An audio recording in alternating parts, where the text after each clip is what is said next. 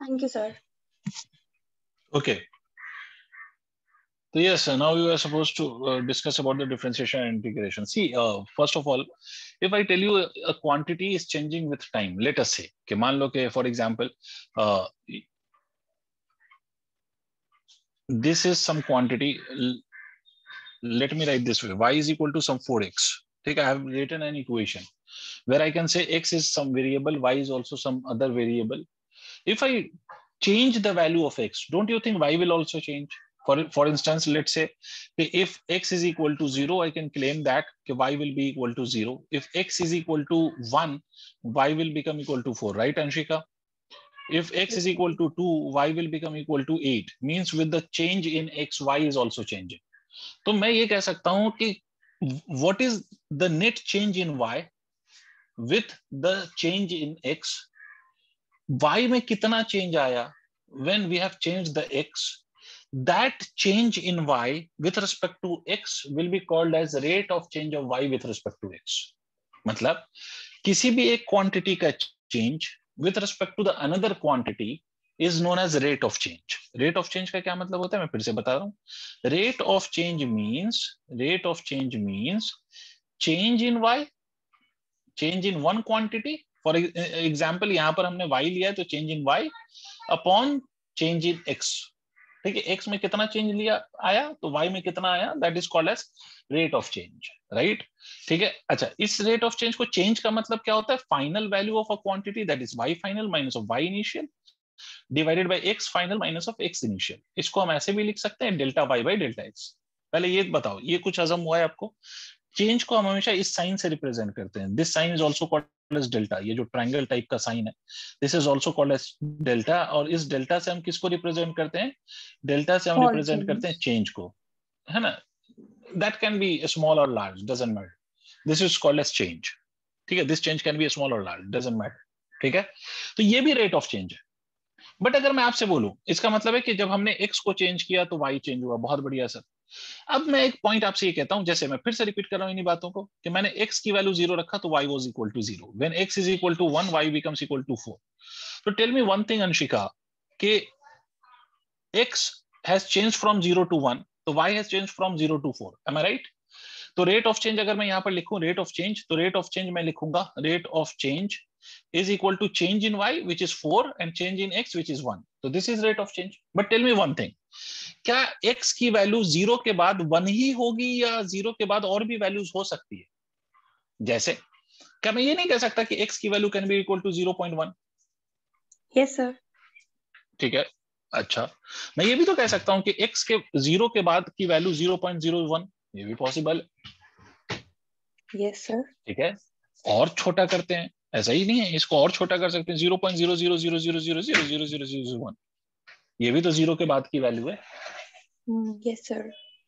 Although although ये zero के just बाद वाली वैल्यू है but it is not very large value बहुत छोटी वैल्यू बट फिर भी सोचो कि अगर मैं एक्स की वैल्यू ज़ीरो के बाद ये ले लू तो वाई में जो चेंज आएगा अगर मैंने एक्स को एक्स में चेंज किया वन तो वाई में चेंज आया फोर बट अगर मैं एक्स का चेंज बहुत छोटा ले लू zero point zero zero zero zero zero zero zero zero zero zero zero zero zero zero zero one तो वाई का चेंज बहुत छोटा है बहुत बड़ा आएगा या बहुत छोटा आएगा कैसा चेंज आएगा वाई में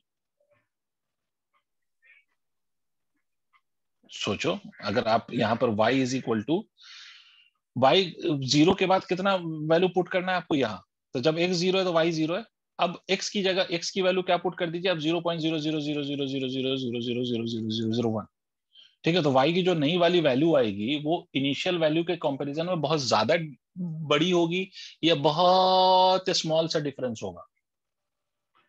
सर बहुत स्मॉल सा डिफरेंस होगा। ऑफ़ कोर्स क्योंकि आपने x को बहुत स्मॉल वैल्यू से चेंज किया तो डिफरेंस भी बहुत छोटा है।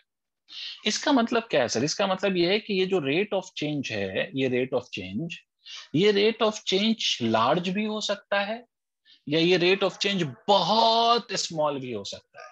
ठीक है? बेटे अगर मैं आपसे ये कहूँ कि रेट ऑफ़ चेंज में बहुत स्मॉल क्वांटिटी का निकाल रहा हूँ। मतलब बहुत स्मॉल चेंजेस ले रहा हूँ। कितना स्मॉल इतना स्मॉल इतना small such that that small quantity is very very very close to zero, but it is not zero. For example, मान लो कि मैंने एक्स की एक वैल्यू ली ज़ीरो और एक्स की दूसरी वैल्यू ले ली zero point zero zero zero zero zero zero one तो मैं ये कह सकता हूँ कि भाई एक्स चेंज तो हुआ है। There is a change in x but ये चेंज बहुत लार्ज है या बहुत स्मॉल है? ये चेंज बहुत लार्ज है या बहुत स्मॉल है? ऑब्वियसली बहुत छोटा है right Anshika ji? Yes sir तो ऐसे बहुत छोटे से चेंज को ठीक है? हम ऑलमोस्ट ये ज़ीरो के बराबर है बट एग्जैक्टली ज़ीरो नहीं है। तो ऐसा जब भी स्मॉल चेंज होता है तो उसके लिए हम डी से रिप्रेजेंट करते हैं। किससे रिप्रेजेंट करते हैं? डी से। मतलब कभी भी किसी क्वांटिटी के साथ डी लग जाए ना इसका मतलब होगा कि वो उस क्वांटिटी की बहुत छोटी सी वैल्यू ठीक है? अगर कोई मैथमेटिकली आपसे पूछ ले कितनी छोटी?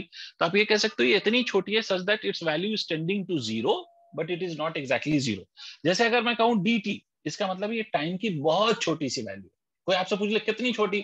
तो सच दैट ये टाइम की इतनी छोटी वैल्यू है कि it is very near to zero but it is not exactly zero did you understand Yes, sir. Sir, then so, this triangle, which is called delta, is different from dx. Yes. ये delta जो हमने लिया है ये भी change को represent कर रहा है and this d also represents change ठीक है? बट दोनों में फ़र्क है कि ये delta can be a large change और स्मॉल चेंज ठीक है? ये स्मॉल भी हो सकता है ये लार्ज भी हो सकता है. ये लार्ज चेंज भी हो सकता है इसकी वैल्यू बड़ी भी हो सकती है इसकी वैल्यू छोटी भी हो सकती है. बट डी अगर लग गया तो इसका मतलब है कि very very small change very very दो बार लगाने का मतलब है बहुत बहुत छोटा change how small that is very close to zero but it is not exactly zero और इस तरह की चीज़ को हम मैथमेटिक्स में इनफाइट सिमली स्मॉल भी कहते हैं. इनफाइट सिमली स्मॉल क्या मेरी बात समझ में आई? Delta is also change d is also change but delta और डी का डिफरेंस समझ आ गया? यस सर हाँ आप ये कह सकते हो कि अगर चेंज बहुत छोटा है तो उसको हम डी लिख सकते हैं। इनफैक्ट मैं आपको एक बात बताऊँ तो मैथमेटिक्स में कभी भी डेल्टा को डी से रिप्लेस नहीं किया जाता। Because in actual mathematics delta अलग है डी अलग है। बट फिजिक्स वाले कई बार डेल्टा को डी से रिप्लेस कर देते हैं बट वो वहाँ पर करते हैं जहाँ पर चेंज बहुत छोटा हो। क्लियर है? ओके यस इसका मतलब डिफ्रेंसिएशन हमेशा याद रखो। अब आते हैं डिफ्रेंसिएशन की मीनिंग पे। डिफ्रेंसिएशन का बेसिक मतलब होता है rate of change of one quantity with respect to another but कैसा rate of change infinitesimally small rate of change अब infinitesimally small rate of change का क्या मतलब है कि बहुत छोटा चेंज अगर आपसे कोई पूछ ले कि भाई बहुत छोटा का क्या मतलब है तो इतना छोटा change which is very comparable to zero but it is not exactly equal to zero तो जब भी हमें इस तरह का चेंज निकालना होता है तो हम डिफ्रेंशिएट करते हैं। तो उसमें मैथमेटिक्स का एक कॉन्सेप्ट आता है, जिसको हम कहते हैं डिफ्रेंसिएशन ठीक है? इसको मैं एक तरीके से और लेमन लैंग्वेज में अगर मैं डिफाइन करूँ तो मैं ऐसे भी डिफाइन कर सकता हूँ कि अगर मान लो डिफरेंशिएशन का एक लेमन लैंग्वेज में डेफिनेशन सुनो। कि अगर मैं कहूँ ये लाइन है कोई इट्स अ लाइन अगर मैं इस लाइन को ब्रेक करूँ तो मुझे एक बात बता सकते हो ज्योमेट्रिकल यूनिट क्या होती है? लाइन होती है या पॉइंट होता है? सर पॉइंट पॉइंट तो the process of breaking a line into its constituent point is basically differentiation differentiation का मतलब होता है बहुत छोटे से टुकड़ों में तोड़ देना। लेमन लैंग्वेज में अगर मैं कहूँ तो। डिफ्रेंसिएशन का मतलब है breaking into very small tiny elements और कितना टाइनी सच दैट कि उसका जो अपना लेंथ है या अपना साइज़ है वो नेग्लिजिबल हो बहुत छोटा हो which is comparable to zero clear हो गई बात? तो इसलिए डिफ्रेंसिएशन किया जाता है। समझ गए? सर तो ये तो एक आपको फील कराया मैंने कि डिफ्रेंसिएशन आप करते क्यों हैं। अब पॉइंट ये कि सर डिफ्रेंसिएशन कैसे करते हैं? हाउ टू परफॉर्म डिफ्रेंसिएशन तो डिफ्रेंसिएशन हमें बेसिकली ये सीख के रखना है कि how to perform differentiation how to do differentiation तो इसके लिए आप ऐसे समझें। जी। Can you please explain again why do we do differentiation differentiation we do to find out very small change of one quantity with respect to another quantity और इसको आप ऐसे भी कह सकते हो to find the very small rate of change of one quantity with respect to another okay sir अभी भी कोई इशू है तो पूछ लो। नो no, सर बहुत स्मॉल ठीक है? जैसे फॉर एग्जांपल मैं आपसे कहूँ एक बात सोचो ना। मैं आपसे कहूँ कि भाई यहाँ से यहाँ तक का टोटल डिस्टेंस हंड्रेड मीटर है और मुझे टाइम लगा टेन सेकेंड्स ठीक है? इसको फिजिक्स के टर्म्स में अगर सोचे तो। टाइम मुझे लगा ten second in going from this point to that point तो मेरी स्पीड जो है that speed will be equal to hundred by ten that is equal to ten metre per second ठीक है यहाँ से यहाँ जाने में बट अगर मान लो मुझसे कोई पूछ ले यहाँ पर मेरी स्पीड कितनी है या यहाँ पर इतनी स्पीड कितनी है ठीक है अगर मुझसे बोल दे कि भाई ये पॉइंट और ये पॉइंट के बीच में तुम्हें स्पीड बतानी है कि तुम्हारी कितनी है और ये दो पॉइंट को आपसे कोई कह दे कि इन दोनों पॉइंट के बीच का जो सेपरेशन है ये बहुत छोटा है मतलब ये zero point zero zero zero zero zero zero zero zero zero zero zero four metre है और यहाँ से यहाँ जाने का टाइम जो लगा है वो भी बहुत छोटा है zero point zero zero zero zero zero zero zero zero zero one second है तो अभी भी स्पीड एक्स से वाई तक का स्पीड तो आप यही लिखेंगे ना डिस्टेंस अपॉन टाइम बट ये जो डिस्टेंस की वैल्यू और ये टाइम की वैल्यू बहुत बड़ी है या बहुत छोटी है? सर बहुत छोटी। तो ऐसे केसेस में हम इसका डिस्टेंस अपॉन टाइम मतलब ये छोटी वैल्यूज़ हैं तो इसलिए डिस्टेंस की जगह भी, भी बहुत छोटा सा एलिमेंट लेंगे और टाइम की जगह भी बहुत छोटा सा वैल्यू लिखेंगे। मतलब इस बहुत छोटी सी वैल्यू को हम डी से रिप्रेजेंट कर रहे हैं इस टाइम की भी बहुत छोटी सी वैल्यू को हम डी टी से रिप्रेजेंट कर रहे हैं। मतलब यहाँ पर हम ये कह सकते हैं कि d x is equal to zero point zero zero zero zero zero four है और डी टी को हम कह सकते हैं zero point zero zero zero zero जो भी है। ठीक है ज़ीरो ज़ीरो ज़ीरो ज़ीरो जो भी लिखा हो मैंने वन है। तो मैं यहाँ पर स्पीड को लिख सकता हूँ d x by d t ये मतलब है अगर सोचा जाए तो। Okay. और शायद आपने काइनेमेटिक्स में ऐसा फॉर्मूला देखा होगा। आपने yes. कहा कि bit of kinematics you have already studied तो you may have seen this formula इसीलिए हम v is equal to dx by dt लिख रहे होते हैं वहाँ पर। कहाँ पर लिखते हैं? जब हमें किसी पर्टिकुलर पॉइंट पे। देखो ऑलमोस्ट ये दोनों पॉइंट हम एक ये कह सकते हैं ना कि ऑलमोस्ट ये दोनों एक ही पॉइंट है। सोच के देखो आप इमेजिन करो। क्योंकि the separation between x and y point is so small that they can be treated as a single point सोच के yes, देखो। sir. यस सर तो इसका मतलब है कि ये जो स्पीड है वो ऑलमोस्ट किसी एक पर्टिकुलर पॉइंट की स्पीड है ना? तो ऐसा जब भी केस होता है कि किसी पर्टिकुलर पॉइंट पे हमें चीज़ों को देखना होता है तो हम डिफ्रेंसिएशन करते हैं। समझ आई बात? यस सर ठीक है तो खैर तो कोई भी अगर, ये देखो, ये तो सिर्फ़ समझने वाली चीज़ है। और ये कॉन्सेप्ट अगर याद रहे तो आपको, ये आगे जब आप काइनेमेटिक्स में पढ़ेंगे इंस्टेंटेनियस स्पीड या इंस्टेंटेनियस वेलोसिटी तो आपको ज़्यादा क्लियरिटी आ पाएगी, क्योंकि वहाँ पर भी हम ये लिख रहे होंगे डीएक्स बाई डी लिख रहे होंगे। एक्सेलरेशन में हम डीवी बाई डी लिख रहे होंगे तो ये ज़्यादा क्लैरिटी आ जाएगी आपको, अगर आपको डिफ्रेंसिएशन की मीनिंग पता है तो। तो फिर से मैं रिपीट कर देता हूँ डिफ्रेंसिएशन का मतलब होता है infinitesimally rate of change of one quantity with respect to another quantity infinitesimally small rate of change of one quantity with respect to another quantity is known as differentiation infinitesimally small rate of change of one quantity with respect to another quantity is known as differentiation चलिए sir, आगे बढ़ते हैं। अब जो ये differentiation अपन करते हैं, अब इस डिफ्रेंसिएशन पे आते हैं। ये जो डिफ्रेंसिएशन हम करते हैं तो ये डिफ्रेंशिएट करते कैसे हैं? ठीक है? अब इसके लिए आप ऐसे मान लो कि हमने ऐसे लिखा y is equal to x to the power n ठीक है जी? यहाँ पर y क्या है और x क्या है? तो y भी वेरी कर रहा है और x भी वेरी कर रहा है। बट एक बात समझें कि ये जो y है वो वेरी करता है x के साथ। मतलब x वेरी करेगा तो y वेरी करेगा। फॉर इंस्टेंस x की वैल्यू ज़ीरो है तो वाई की वैल्यू ज़ीरो अभी समझाया था ना? X की वैल्यू वन है तो y की वैल्यू वन है। तो x चेंज होगा तो y ऑटोमेटिकली चेंज होगा, ये मतलब है ठीक है?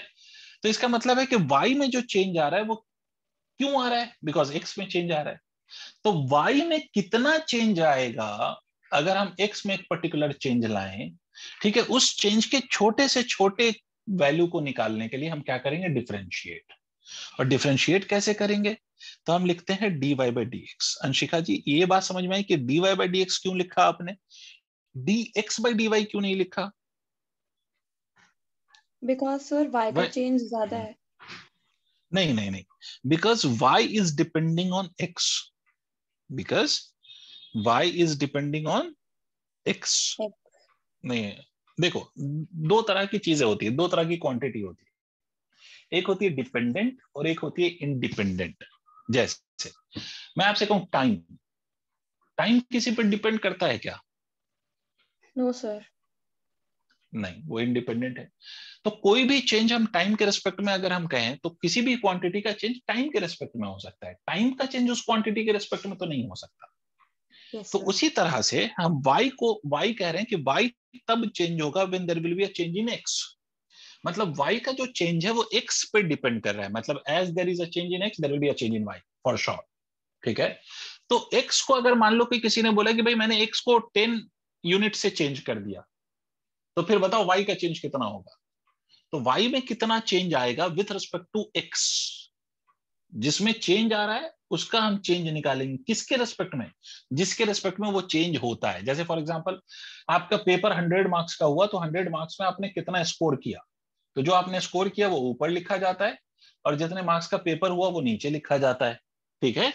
तो इसी तरह से वाई चेंज हो रहा है जो आप का वैल्यू चेंज हुआ है वो ऊपर लिखा जाता है और जिसके रिस्पेक्ट में ये चेंज आया है वो नीचे लिखा जाता है।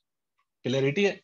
तो इसी तरह से वाई में चेंज हो रहा है किसके रिस्पेक्ट में? एक्स के रिस्पेक्ट में। तो वाई ऊपर लिखा जाएगा और एक्स नीचे। क्लियर है? यस सर तो इसको हम y की जगह हम ये भी लिख सकते हैं डी बाई डी एक्स यहाँ पर y को मैंने लिखा हुआ x to the power n ऐसे लिखा जा सकता है। अगर ये नहीं भी लिखो तो कोई फ़र्क नहीं पड़ता है बट इस बात को समझो कि ऐसे भी हम लिख सकते हैं आगे के स्टेप में क्योंकि y एक्स के एन है। अब ये चीज़ डिफ्रेंशिएट करने के बाद आपको डायरेक्ट फॉर्मूला याद रखना है कि जब इसका हम डिफ्रेंशिएशन करेंगे तो ये होगा n x to the power n minus one क्या होगा बेटे? ये डायरेक्ट फॉर्मूला है अब आपको ये रटना पड़ेगा किसी भी हाल ठीक है ये फॉर्मूला होता है। इसका एग्ज़ाम्पल मैं समझाऊँगा। ठीक है? दिस इज़ द फॉर्मूला यही आपका क्रांतिकारी फॉर्मूला है जिस पर बहुत सारी चीज़ें डिपेंड करेंगी। बेसिक है बिल्कुल इसको ये रटना ही रटना है। This is the backbone of differentiation x किसी क्वांटिटी से चेंज हो रहा है तो y nx 1 से चेंज हो रहा है। Yes yes. okay, अगर x किसी भी क्वांटिटी से चेंज हो रहा है तो y इस वैल्यू से चेंज हो रहा है। ये मतलब है इसका। रेट ऑफ़ चेंज इसका infinite small rate of change ये आ रहा है। ठीक है? यस सर अब ये फॉर्मूला आता कहाँ से? वो मैथमेटिक्स वाला आपको सिखाएगा जब आप डिफ्रेंसिएशन पढ़ेंगे। अभी तो हमें फॉर्मूले से मतलब है। एग्ज़ाम्पल क्योंकि ये फॉर्मूले पढ़ने के लिए फिर उसमें मैथमेटिक्स में और कॉन्सेप्ट आते हैं लिमिट्स कॉन्टिन्यूटी फ़ंक्शन ये बहुत सारे चैप्टर्स होते हैं। उसके बाद उस लिमिट में एक मेथड आता है जिसको हम कहते हैं फ़र्स्ट प्रिंसिपल उससे ये ड्राइव होता है। तो ये सब तो प्योर मैथमेटिक्स का पार्ट है, इसलिए हम उसकी बात नहीं करते। जैसे आप एग्ज़ाम्पल लें y is equal to x square अगर ये इक्वेशन है। और हमसे बोला गया कि infinitesimally small rate of change d y by d x निकाल के बताओ। तो अपन कुछ नहीं करेंगे डायरेक्ट यहाँ ये फॉर्मूला याद रहना चाहिए। यहाँ पर n की वैल्यू क्या है बेटे? इसको कंपेयर करो इसके साथ। इसको इसको कंपेयर करो। तो n की वैल्यू क्या है यहाँ पर? टू। टू। ठीक है तो एन की वैल्यू टू है तो एन की जगह बस टू लिख दो। इस फॉर्मूले में एन को टू रख दो टू माइनस ऑफ़ वन तो ये टू एक्स हो जाएगा क्या? देखो। नहीं आया नहीं तुम्हें समझ नहीं आया शायद।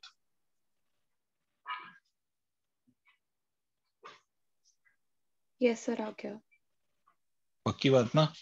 यस देखना हेजिटेट नहीं करना। जो नहीं समझा बिंदास पूछना है। एग्ज़ाम्पल एक और लेते हैं। Y is equal to root x चलिए मिल के करते हैं। आप बताइए क्या करें हम?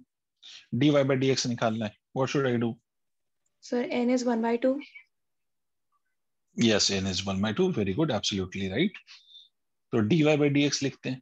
तो dy बाई डी एक्स क्या हो जाएगा? 1 by 2 x 1 by 2 minus of 1 जो पावर है उसको आप मल्टीप्लीकेशन में लिख दीजिए और ऊपर आप माइनस वन कर दीजिए।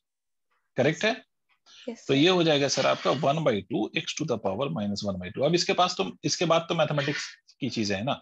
कि आप इसी चीज़ को आप ऐसे भी लिख सकते हो सर कि ये one by two x to the power one by two नीचे लाएँगे तो पावर पॉजिटिव हो जाएगा या इसी को आप लिख सकते हैं one by two root x. लिख सकते हैं ये तो मैथमेटिक्स है। Yes, ये तो डिफ्रेंसिएशन तो यही खत्म हो गया। अच्छा एक और बार करते हैं एक और बार एक और बार एक और बार। y is equal to one upon x square है। अब क्या करें बेटा?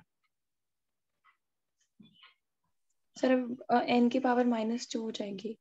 बहुत बढ़िया। तो इसको हम ऐसे लिख सकते हैं, x to the power minus two तो dy बाई डी एक्स फिर से इसी फॉर्मूले में n की वैल्यू बस ये रख दो। तो minus two into x to the power minus two minus one ठीक है, बस n माइनस टू रख देंगे तो minus of two x to the power minus three इसको आप ऐसे लिख लो माइनस टू एक्स का क्यूब हो गया ये डिफ्रेंसिएशन कौन सा rocket science Yes, sir. Sir, this so, is the rate with which y is changing. Yes, this is the rate. This is the infinitesimally a small rate of change of y with respect to x. Okay.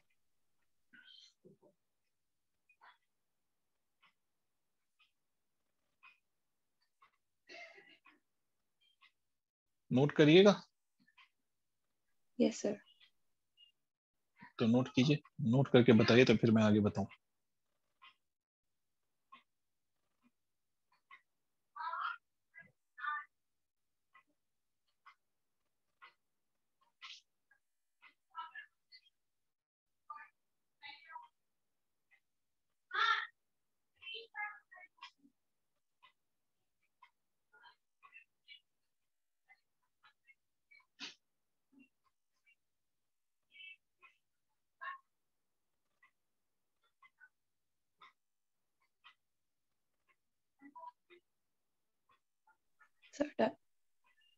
Okay अब देखो, ये तो इस case में कि y सिर्फ़ x to the power n हो but y x to the power n के साथ और भी कुछ चीज़ें हो सकती हैं डिफरेंशिएट जिसको हमें डिफरेंशिएट करना हो। जैसे फॉर एग्जांपल दूसरे फॉर्मूले पे आते हैं। अगर y की value x to the power n नहीं है, y is equal to some k where k is constant where k is constant आप लॉजिकली मुझे बता सकते हैं कि इस केस में if I differentiate y with respect to x what will be its differentiation logically बता सकते हो? वाई इज़ कांस्टेंट चलो मैं ऐसे पूछ लेता हूँ। What is the meaning of differentiation Anshika what is the meaning of differentiation sir infinitely rate of infinitely rate of change of y with respect to infinite infinitesimally a rate of change yes rate of change ठीक है? तो y की value constant है। मतलब y is equal to अगर मैं four लिख दूँ तो दिस फोर विल चेंज और इट विल रिमेन सेम सोच के देखो। Is it a fix value और it is a changing value Sir, fixed value. It's a fixed value right it's a constant number which will not change obviously 4 4 है ना 4 थोड़ी change होगा। तो सोच के देखो अगर y की वैल्यू वेरिएबल पे डिपेंड नहीं कर रही हो अगर y की वैल्यू एग्जैक्टली कांस्टेंट हो जाए तो आपको नहीं लगता कि उसका डिफ्रेंसिएशन ज़ीरो हो जाएगा? चेंज ही नहीं होगा ना सर? नहीं समझी. कंफ्यूज हो गई. ठीक है if if something is constant तो its rate of change will be zero because it is a constant constant का मतलब ही है कि a quantity which does not change okay point number third अगर ये ऐसा हो कि y is equal to constant के साथ मल्टीप्लाइड में आपका variable constant multiplied with variable अब क्या होगा? तो अब अनडाउटेडली वाई चेंज करेगा। अब अनडाउटेडली वाई में चेंज आएगा। बट वो वाई का चेंज कैसे निकालेंगे? तो देखो if constant is all alone without any variable तब तो डिफ्रेंसिएशन ज़ीरो है। But if the constant is in the product और इन द क्वेश्चन और anything constant if if constant is with variable तो उस केस में you keep the constant as it is and differentiate only the variable part you keep the constant as it is and differentiate the variable part मतलब k को as it is रखो and you go on differentiating only the variable part which is involved in that तो आप इसको ऐसे लिखोगे dy by dx k n x to the power n minus 1 did you understand please tell me sir अगर मैं यहाँ पर. Zero कर देता नहीं समझी No, sir. ये third वाला समझ नहीं आया. ठीक है फिर से समझो अगर मैं आपसे लिखूं जैसे मैं इसके एग्जांपल से समझाऊं तो शायद आपको ज़्यादा क्लियर हो जाए y is equal to 4x square 4 is a constant or variable Sir, constant. 4 is a constant will it change No, sir. no sir of course it not so 4 as it is रहेगा but x is a variable right Yes, sir. will it change or not Yes, sir. of course because it is variable it will change तो हमें 4 को as it is रहने देना है because it is not going to change it will remain as it is भाई कभी भी इसको देखो तो ये 4 4 ही रहेगा ना तो it will not change it will remain as it is. तो मुझे इससे मतलब नहीं है। मुझे किससे मतलब है जो वेरी कर रहा है? और वो वेरी कौन कर रहा है? एक्स स्क्वायर तो मुझे डिफरेंशिएट किसको कर लेना है इस केस में? एक्स स्क्वायर को। नहीं आया। Okay. Yes, sir. समझे? If you have a constant and variable in product तो what will you do you will keep the constant as it is and you will only differentiate the variable part agreed Yes, sir. Because constant तो constant ही है वो थोड़ी ना बदल रहा है तो that is what I have done in the formula see I have I told you कि this K is a constant and this X is a variable तो if I am differentiating I don't need to differentiate this K because it is a constant it will be kept as it is take only the variable part will be differentiated But yes if constant is not in product with a variable then the differentiation of that constant will be equal to zero. अगर उसके साथ variable multiply में नहीं है या divide में नहीं है मतलब वो कांस्टेंट सिर्फ़ अकेला है उसके साथ कुछ वेरिएबल पार्ट नहीं है तो फिर उसका डिफरेंशिएशन ज़ीरो होगा। ओके ठीक है? जैसे एक जाम फल दो जाम फल। Y इज़ इक्वल टू मैंने लिखा फोर डिफरेंशिएशन बोलो। Dy बाई डी एक्स बोलो। ज़ीरो। ज़ीरो बहुत बढ़िया। इसी तरह से मैंने लिखा y is equal to four x cube differentiation zero होगा क्या इस बार? नो सर नो सर तो आप क्या करेंगे? वाई बाई डी क्या होगा? फोर को एज इट इज़ रखेंगे और हम डिफ्रेंशिएट किसको करेंगे? एक्स क्यूब को। ठीक है? तो four as it is x cube का डिफ्रेंसिएशन कितना हो जाएगा? तो एन की वैल्यू थ्री है तो x to the power three minus one ये तो मैं आपके लिए सिर्फ़ ये लिख रहा हूँ वरना तो ये डायरेक्ट आप फॉर्मूला याद कर लेंगे तो बिना आप बार बार ऐसे बिना लिखे भी आप सॉल्व करके दिखा सकते हैं। तो ये कितना हो जाएगा? Twelve x square did you understand the differentiation of this please देख लो। नोट करो। डन ठीक है। अब इसी में कुछ और चीज़ें समझ लो। तो ये तो आपका ये दो तीन जनरल फॉर्मूले हो गए जो आपको यूज़ करना है। ठीक है? ये दो तीन जनरल फॉर्मूले this is how we differentiate a quantity ठीक है? अगर एक्स के टर्म्स में वाई और एक्स एक दूसरे के टर्म्स में तो इस तरह से डिफरेंशिएशन होता है। अब एक दो और खास बातें सुनेंगे। ठीक है? अच्छा इसी तरह से कहीं पर लिखा जाए वाई ये जो भी अभी करा था ना मैंने जो भी वैल्यूज़ लिखी थी वो एल्जेब्रिक था। मतलब y is equal to x x या फोर से मल्टीप्लाई कर दो तो वो तो एल्जेब्रिक है। आप लोगों ने आपने ट्रिग्नोमेट्रिक वैल्यूज़ भी सुनी होंगी ना जैसे sine cos tan cot sec yes sir तो अगर मान लो बच्चे मेरे कि y is equal to sine of x है where x is the angle भाई एंगल को मैं थीटा लिखूं या x लिखूं मेरी मर्ज़ी है ना? यस सर ठीक है मैं मैं तो कहता हूँ भाई साइन आम लिख दूँ तो ये आम भी एंगल ही ठीक है खैर। तो अगर मैंने y is equal to sine x लिखा और इसका डिफ्रेंसिएशन करूँ साइन का डिफ्रेंसिएशन तो अब ये फॉर्मूलाज आपको याद रखना है। साइन का डिफ्रेंसिएशन सीधा कॉस ठीक है? साइन का डिफ्रेंसिएशन कॉस y अगर मैंने कॉस लिखा है कॉस एक्स तो इसका differentiation d y by d x minus sine sine का होता है कॉस कॉस का होता है माइनस साइन ओके ठीक है? Y is equal to tan x तो dy y by d x is equal to sec square x ठीक है? ये रटना है किसी भी तरह अगर आप रट लें तो। वैसे इतना ही काफ़ी है आपके लिए। ये एक दो आ, बात आ गई तो बाकी अभी लिख देता हूँ मैं। Y is equal to sec x तो इसका जो d y by d x होगा that would be sec x tan x y is equal to cosec x तो dy by d x minus cosec x cot x ये सब इसके formulas हैं जो जिसमें कुछ आपको दिमाग नहीं लगाना है बस सीधा रटना है। Okay, sir, are all five of these important? Uh, try to remember all these five. If you not, then at least remember these two. y is equal to sin x and y is equal to cos x. Okay. At least ये दो तो याद रखना Okay, sir. ठीक है अब देखिए अब इसी में फर्दर मैं आगे बात करता हूँ ये तो हमने ये डिफरेंशिएशन के फॉर्मूलाज देख लिए अब एक दो छोटी बातें और समझो बेटे, अगर मैं कहीं पर लिख दूँ, ये सब, ये फॉर्मूला थे अभी जो मैंने सिखाया। Now I will be talking about the rule of differentiation तो इसमें तीन रूल है। एक तो एडिशन सब्ट्रैक्शन रूल ठीक है? दूसरा है प्रोडक्ट रूल और तीसरा है डिवीज़न रूल कंफ्यूज नहीं होना है। आपको सिंपली कुछ चीज़ों को समझना है और देखिए वो क्या चीज़ है।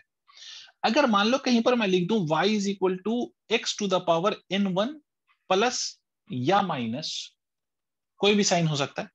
X to the power n two. क्या ये इन दोनों के पावर इक्वल है बेटा? No, sir. नो सर तो आप इसको ऐड या सब्ट्रैक्ट तो नहीं कर सकते। You can you can neither add these two terms nor you can subtract these two terms तो इसको ऐड सब्ट्रैक्ट तो नहीं कर सकते। तो फिर इस केस में अगर मुझसे dy बाई डी पूछा जाए तो क्या करेंगे? कुछ नहीं करना है। जितने टर्म्स हैं उन सारे टर्म को इंडिविजुअली डिफरेंशिएट करना है। ठीक है? मतलब क्या करना है कि आप इसको as as individual in differentiate करें और इसको भी as an individual term differentiate करें। पता नहीं क्या बोले सर समझ ही नहीं आया। तुम तो परेशान कर रहे हो। चलो देखते y is equal to x square plus of x cube मुझे वाई बाई डी निकालना है। चलो अंशिका मिलकर करते हैं। क्या करें? व्हाट शुड आई डू मैंने क्या बोला?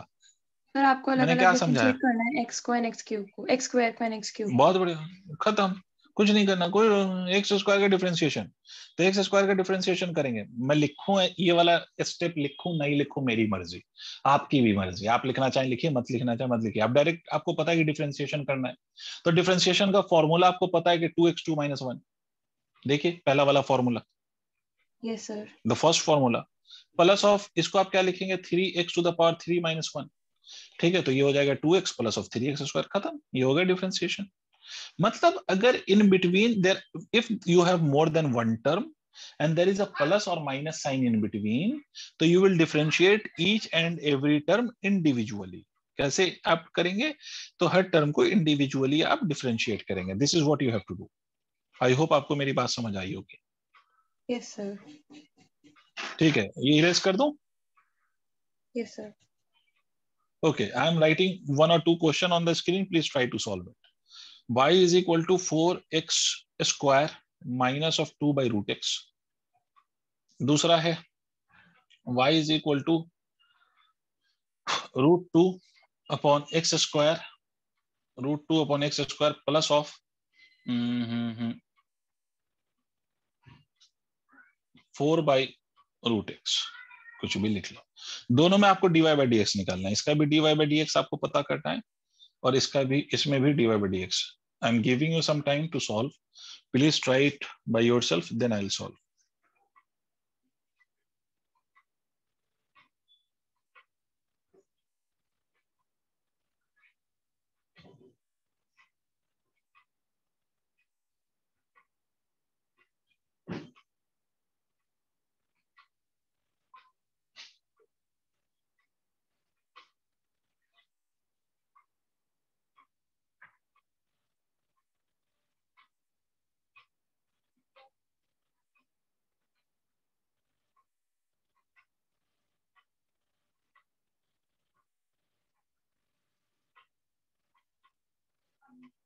おっ。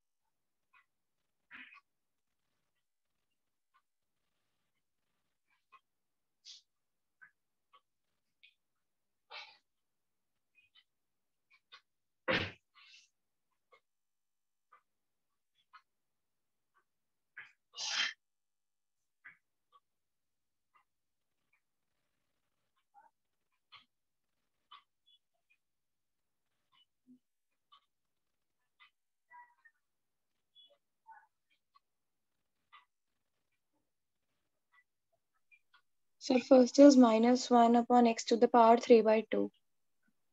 चलो let me solve Okay. Because मेरे पास कोई इसका आंसर नहीं है ना कोई। चलिए मैं बताता हूँ। D y by d x आपने क्या किया? फोर को एज इट इज़ रखा होगा? Yes, sir. For you must have kept as it is two x square का डिफरेंशिएशन आपने लिखा होगा two x minus of two as it is इस रूट एक्स को आपने बेटे ऐसे किया है क्या?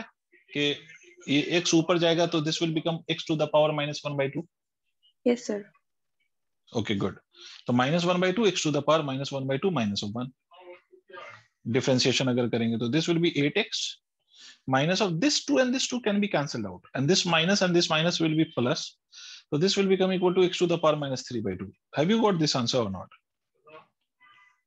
देखो ये आंसर आया आपका? यस सर ठीक है।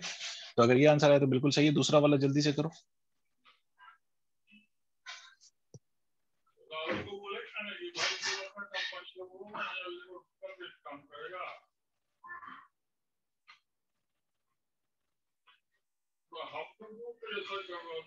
कंपनी को कंपनी जो है वो वो स्टार्ट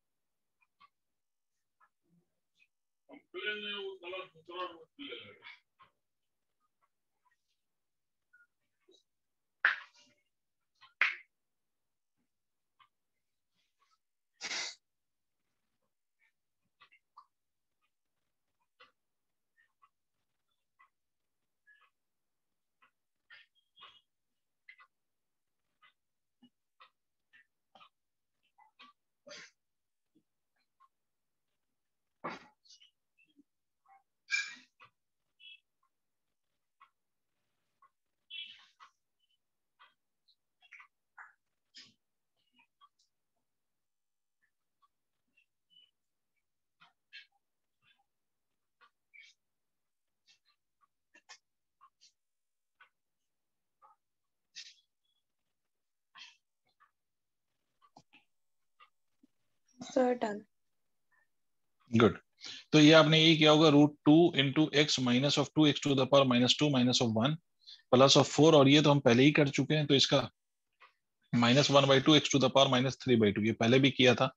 ये मैं गलती से सेम ही दे गया तो चलो ठीक है कोई नहीं। Minus of two root two x to the power minus three ये टू टू द फोर तो minus of two x to the power minus three by two have you got this answer yes sir ठीक है very good तो this is this rule which is called as addition और subtraction type of rule ठीक है, अब एक दो rule अच्छे से समझ लो। ठीक है, बस इतने पे डिफ्रेंसिएशन को एंड करेंगे। दो रूल लेकिन ये जो दो रूल अभी बता रहा हूँ, इसको भी थोड़े अच्छे से समझो, है ना? थोड़ा सा कंफ्यूजन हो सकती है तो इसलिए देखना। मान लो बेटा, अगर कोई दो क्वांटिटी है out of which none is constant ठीक है? दो अलग अलग नेचर के वेरिएबल है, जैसे मैं आपसे कहूँ कि एक वेरिएबल एक्स और दूसरा है साइन ऑफ़ एक्स तो ये अलग नेचर का वेरिएबल है और ये अलग है। क्या अलग है इसमें? ये अल्जेब्रिक वैल्यू है। क्या है बेटे? अल्जेब्रिक वैल्यू है। तो ये कैसा है? ट्रिग्नोमेट्रिक है। मानते हो? नहीं आ रहा। या फिर इसको आप ऐसे कह सकते हो कि मान लो कि मेरे पास दो अलग अलग नेचर के दो क्वांटिटी हैं। Log x Anshika left.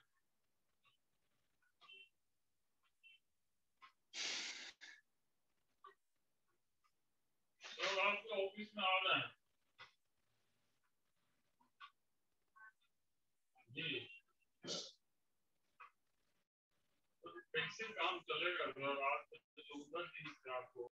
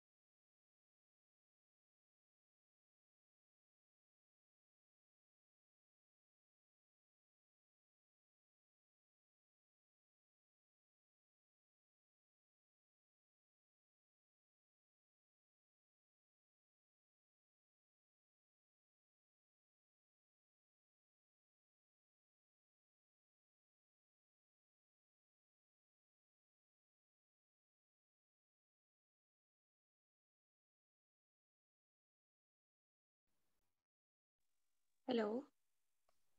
Yes, Anshika, welcome back. Sorry, sir, I got disconnected. no issue. It happens sometimes. Anyways, did you understand what I was uh, saying before you disconnected? Uh, I told you that these are two different kind of variables. For example, let's say this is algebraic value and this is trigonometric value and they are in product, right? So these are variables of different nature. This is of trigonometric nature and this is of algebraic nature. समझ आई ये बात Hmm. इसी तरह से बेटा इधर देखो जैसे मैं लॉग सुना होगा ना आपने लॉग आपको भले पढ़ाया नहीं गया होगा सीबीएसई में बट लॉग सुना तो होगा ना आपने Yes. ये भी ये और ये दोनों अलग नेचर के वेरिएबल है तो अगर कोई ऐसा केस हो जिसमें देर आर टू वेरिएबल्स और two variables of different nature are in product मतलब दो अलग अलग फ़ंक्शंस मैथमेटिकल फ़ंक्शन या दो अलग अलग मैथमेटिकल क्वांटिटी या वैल्यूज़ जो कह लो वो if they are in product तो उस केस में हाउ डू यू डिफरेंशिएट ठीक है y is equal to u dot v out of which u is a different function v is a different function मतलब ये अगर if it is algebraic तो it is trigonometric और if it is logarithmic तो it is algebraic कुछ भी कुछ भी ठीक है तो अगर ऐसा हो तो इस केस में डिफरेंशिएशन कैसे होगा तो इसका फॉर्मूला है dy by dx keep one of the two function as it is मतलब जिसको मैंने यू कहा है keep it is it as it is and differentiate the second one ठीक है? Then put a plus sign the quantity which is differentiated now keep as it is and differentiate the other one नहीं आई बात समझ में। फिर से repeat कर रहा हूँ। दो चीज़ें हैं यू और वी ठीक है आप u को एज इट इज़ रखो u is one of the function v is another function तो you keep the first function as it is differentiate the second function then put a plus sign the function which is differentiated keep it it as it is now and differentiate the first function which is not differentiated ठीक है या ये समझ आया है example ले लूँगा मैं ये बात बात समझ आई क्या कर रहा हूँ. रूल ठीक है अब जैसे देखो, मैं एक एग्जांपल लेता हूँ, आपको क्लियर हो जाएगा। Y, एक एग्जांपल लेते हैं। Y is equal to x square sine x बेटा ऑब्वियस ही बात है, ये दो अलग अलग नेचर के वेरिएबल हैं।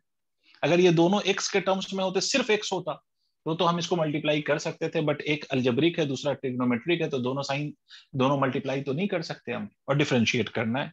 तो क्या करेंगे? D y by d x x square को हम एज इट इज़ रखेंगे, और किसको डिफरेंशिएट करें? The second case the second term which is sine x put a positive sign sine x as it is रखिए d by d x of x square करिए I hope it x square अब जो differentiation आप जैसे करते हो वैसे कर दो साइन एक्स का differentiation cos x plus sine x as it is है ये डिफरेंशिएट अब दूसरी बारी में ये डिफरेंशिएट नहीं हो रहा है एक्स स्क्वायर डिफरेंशिएट हो रहा है तो एक्स स्क्वायर का डिफरेंशिएशन फॉर्मूला आपको पता है वही n x to the power n minus one वाला तो इसका साइन एक्स ठीक है? ये आ गया d y by d x did you understand. Very good इसको नोट करो और साथ साथ एक क्वेश्चन सॉल्व करो. After you take this down please try to solve the second okay you try to solve this one which I am writing here कि मान लो मैंने आपसे कहा कि four times of x cos x don't get confuse आप कर सकते हो. अब क्या करें? कर दो जल्दी से. यू कैन सॉल्व दिया करो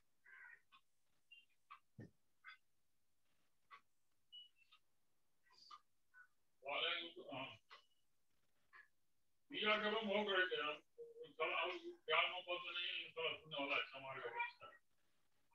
हम। कहा कि हम हम लोग अभी समाज जा रहे हैं हमको अभी इतना नहीं हमका नहीं है तो हम लोग बैठे रहे अब इतना जब तक काम नहीं आइए सर फोर दोनों से मल्टीप्लाई होगा। x के डिफरेंशिएशन से भी and cos यस देखो yes very good four is being multiplied with both of the term तो एक बात तो ऑब्वियस है ना कि फोर दोनों से मल्टीप्लाई हो रहा है तो फोर दोनों के लिए कांस्टेंट है तो इसको हम एज इट इज़ ही रहने दें तो हकीकत है वही बोलेंगे नहीं समझे। Four is being multiplied with both तो दो, दोनों से मल्टीप्लाई करके भी फोर फोर ही रहेगा। तो फोर को फोर फोर ही दो। सिर्फ़ एक्स क्यूब और कॉस एक्स को डिफरेंशिएट करो। मतलब इसको आप ऐसे समझ लो कि d y by d x is equal to four as it is हमें सिर्फ़ इस अंदर वाले चीज़ को डिफरेंशिएट करना है। D by d x of x cube cos x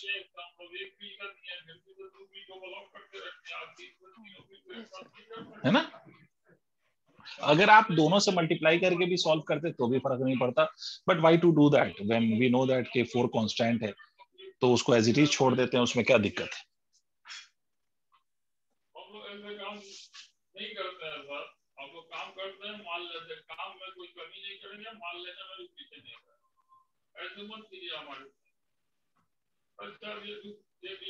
लेते हैं। लेकिन हम एक महीना के बाद ही पेमेंट लेंगे।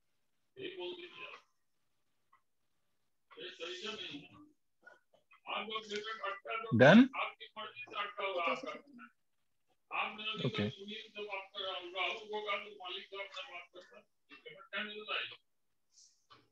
तो राहुल सुनील को फ़ोन किया तो बोले भाई हमको पेमेंट लेके पैसे वो बिल को भेजे तो बिल भी नहीं भेजेगा पेमेंट भी पता नहीं देता है तो यस सर ठीक है तो मैं देख लेता हूँ कि आपने क्या किया है। फोर आपने ये किया होगा बेटे कि आपने एक्स क्यूब को एज इट इज़ रखा होगा। Cos x का डिफरेंशिएशन आपने लिखा होगा माइनस ऑफ़ साइन एक्स सही है? उसके बाद प्लस जो बुझाता कि आज पाँच दिन cos x as it is अब x क्यूब का डिफरेंशिएशन आपने किया होगा थ्री एक्स स्क्वायर तो आपका फाइनल आंसर आप ऐसे लिख सकते हो फोर इसको आप चाहें तो minus of x cube sine x plus of three x square cos x ठीक है? ये आया है बेटा देखो। यस सर ये आंसर आया आपका? ठीक है आगे बढ़ते हैं। ये तो हो गया ये कौन सा रूल हुआ? This is the product rule इस रूल को अपन क्या कहते हैं? प्रोडक्ट रूल इसमें दो क्वांटिटी दो अलग डिफरेंट नेचर के वेरिएबल हैं और वो मल्टीप्लाई हो रहे हैं। तो एक और रूल है अगर सर मल्टीप्लाई हो सकते हैं तो सर डिवाइड नहीं हो सकते क्या? सोचो। इसको हम कहते हैं कोशेंट रूल ठीक है? कौन सा rule question rule question rule का क्या मतलब? Y is equal to u by v अब क्या हो रहा है बेटा? मल्टीप्लाई हो रहा है डिवाइड हो रहा है? डिवाइड तो अब इसमें क्या रूल लगेगा? बस ये सब रूल थोड़ा सा याद रख लीजिएगा। सर यहाँ तो पे भी वेरिएबल्स अच्छा। Different nature yes of course अगर सेम नेचर का है तो तो ऐसे ही डिवाइड हो गया ना? जैसे अगर मैं लिख दूँ x cube by x square तो उसमें तो करने की ज़रूरत ही नहीं, वो तो वैसे ही डिवाइड हो रहा है। तो d y by d x आप क्या करेंगे? डिनोमिनेटर का स्क्वायर कर लीजिए। अब ऊपर देखो, इसका रूल ये कहता है कि जो डिनोमिनेटर उसका स्क्वायर कर लीजिए। ये नीचे काम होगा ये वाला। न्यूमरेटर में क्या होगा? ये जो डिनोमिनेटर वाला टर्म है, उसको एज इट इज़ रखिए और न्यूमरेटर में जो ऑलरेडी था, उसको डिफ्रेंशिएट करिए। फिर माइनस साइन लगाइए। और जो डिफ्रेंशिएट हो गया, उसको एज इट इज़ रखिए, फिर इसको डिफ्रेंशिएट करिए। देखिए if you have understood this rule और नॉट फिर से रिपीट करूँ डिनोमिनेटर का स्क्वायर करिए। और न्यूमरेटर वाले पोर्शन में क्या करना है? न्यूमरेटर में डिनोमिनेटर बिना स्क्वायर वाला डिनोमिनेटर को एज इट इज़ रखिए और न्यूमरेटर वाला जो टर्म था, उसको डिफ्रेंशिएट करिए, फिर माइनस साइन लगाइए। फिर जो न्यूमरेटर में ऑलरेडी था, उसको एज इट इज़ जो डिफरेंशिएट हो गया, वो तो अब एज इट इज़ रहेगा। जो नहीं हुआ उसको डिफ्रेंशिएट करना है। समझे? अब देखिए जैसे एक एग्जांपल लेते हैं कि मैंने बोला कि sir y is equal to sine x by x है ना? x ने x को कैंसिल कर दिया राइट क्या बोलती है Anshika? Good x here is angle and नीचे जो x है that is a different thing वो एल्जेब्रिक वैल्यू है. तो साइन x बाई x तो सर dy by dx क्या होगा? तो dy by dx x squared जो डिनोमिनेटर में उसका डिनोमिनेटर में स्क्वायर करके लिख दीजिए। ठीक है? हम्म। न्यूमरेटर में क्या करिएगा? जो डिनोमिनेटर वाला पार्ट था उसको न्यूमरेटर में जाके रखिए और डिफरेंशिएट करिए जो ऑलरेडी न्यूमरेटर में है। माइनस ऑफ़ जो हो गया उसको अब एज इट इज़ रहने दीजिए। जो नहीं डिफ्रेंशिएट हुआ उसका डिफ्रेंशिएशन करिए। हम्म, ठीक है? तो आप dy बाई डी को क्या लिखेंगे? अब जो अब तो फॉर्मूला है ना जो नॉर्मल फॉर्मूला आपको मालूम है वही करना है। तो x साइन का differentiation cos x minus of x का डिफरेंशिएशन आप उस फॉर्मूले के अकॉर्डिंग करेंगे तो ये वन हो जाएगा। तो ये साइन x हो जाएगा डिवाइडेड बाई एक्स स्क्वायर देखो अगर कोई चीज़ ऐसी हो जो नहीं समझ में आए तो प्लीज़ पूछो। सर sin x वाला समझ नहीं आया। sin x तो cos x में हो गया। देन ये डिफरेंशिएशन ऑफ़ x समझ नहीं आया। चलो बता देता हूँ। x का पावर कितना है बेटा? वन वन तो हम n x to the power n minus one ये फॉर्मूला जानते हैं ना डिफ्रेंसिएशन का। तो एन की वैल्यू यहाँ पर वन है ना वन माइनस वन तो one x to the power zero anything which is having a power zero is is equal to one तो ये वन हो जाएगा ना एक्स पे power zero is one did you understand this rule बेटा?